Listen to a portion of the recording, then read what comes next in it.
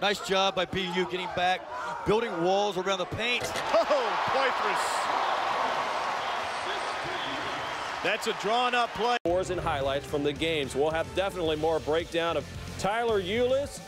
Throw the oop. He's calling for the oop. Get it to Poythress. There it is. Big second half coming up for the Wildcats, up seven.